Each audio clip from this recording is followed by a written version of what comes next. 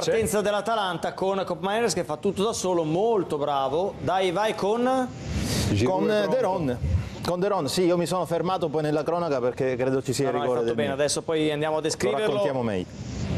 Rigore per il Milan, batte Giroud, vai Gianni. Esatto, Giroud sulla pallone, Dai Montipò. non Dai, guarda il portiere, guarda per terra, ha preparato bene, ha postato bene il pallone lì in mezzo, Montipò saltella sulla linea.